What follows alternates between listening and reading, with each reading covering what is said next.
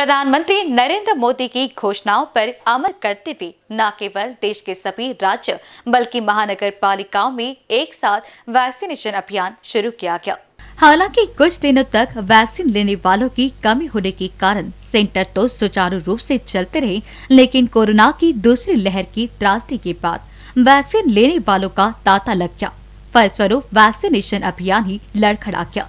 आलम यह है कि अब पूरे अभियान का ही बंटाता होता दिखाई दे रहा है। गत तीन दिनों से जहाँ 45 प्लस का टीकाकरण रुका हुआ है, वहीं अब वैक्सीन उपलब्ध नहीं होने के कारण बुधवार को 18 प्लस का भी टीकाकरण नहीं होने की जानकारी मनपा की ओर से उजागर की गई है।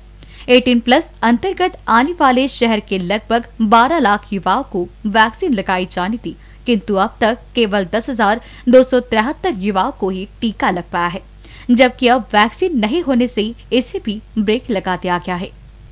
कैमरा पर्सन राजकुमार मोहट के साथ अभिषेक पांसे की रिपोर्ट।